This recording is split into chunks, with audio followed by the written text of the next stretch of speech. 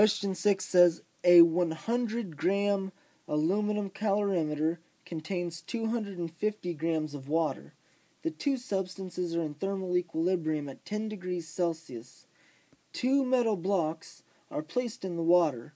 One is a 50 gram piece of copper at 76 degrees. The other uh, has a mass of 68 grams and is originally at a temperature of 100 degrees.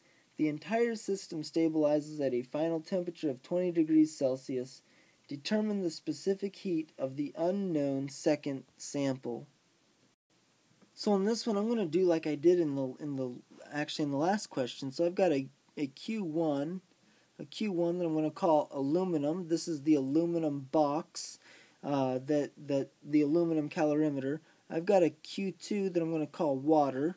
I've got a Q3 that I'm going to call copper. And I've got a Q4 that I'm just going to call question mark. I don't know what it is. Um, but what I do know is that that Q1 plus Q2 plus Q3 plus Q4 equals 0.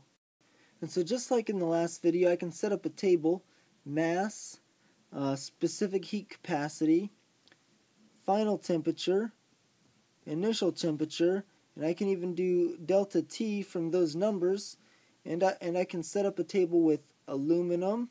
So I've got an aluminum column, I've got a column for, for water, I've got a column for copper, and I've got a column for my unknown. And so I plug in the mass, so it gives the mass, uh, you, you have to make sure you convert it to kilograms, so 0 0.1, 0 0.25,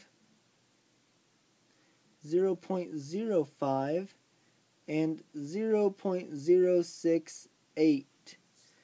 Then the, the specific heat capacity, 900 joules per kilogram Celsius, 4,186 joules kilogram Celsius, 387 joules kilogram Celsius, and this is we don't know. The final temperature is 20, 20, 20, and 20. It all comes into equilibrium at 20 degrees.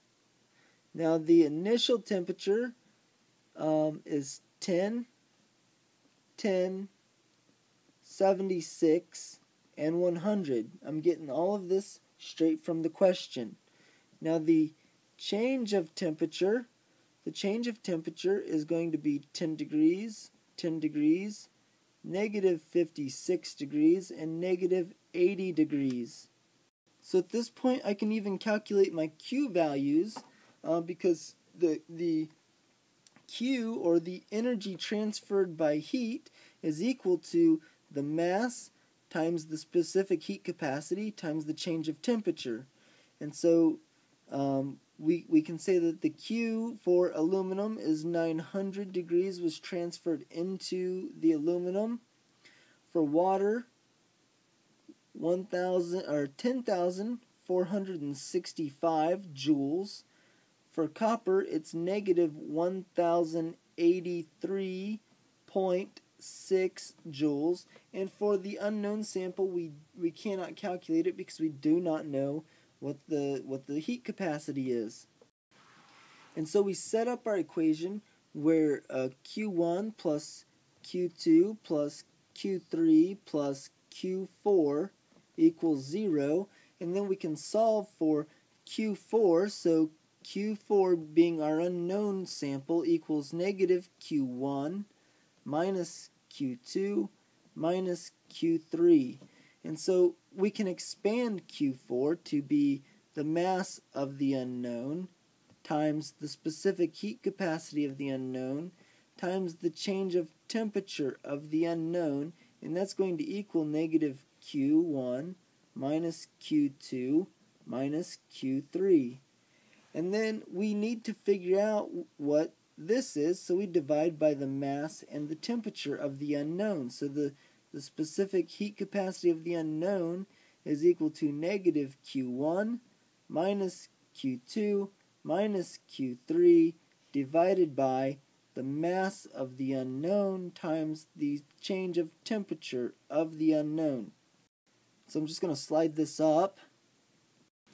And we can substitute in the numbers that we have so the, the specific heat capacity of the unknown is equal to negative 900 for aluminum minus one, uh, 10,465 for water minus negative 1083.6 for the copper divided by the mass of the unknown which is 0.068 times the change in temperature which was negative 80 degrees Celsius.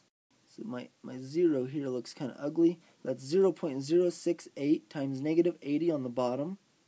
When you plug in your numbers, you should get a positive number that's 1,889.963 joules.